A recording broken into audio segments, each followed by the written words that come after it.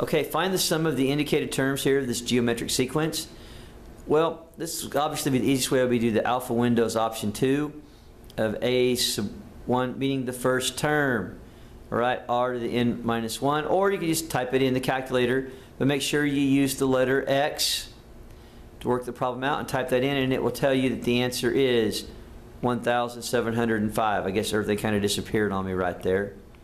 So there we go. It's 1,705. That would be the easiest way. And the way I kind of verified it was because there were only five terms. I took that to the one, plugged it in, two, plugged it in, three, plugged it in, four, plugged it in, five, plugged it in, and added them together to get that very same answer also.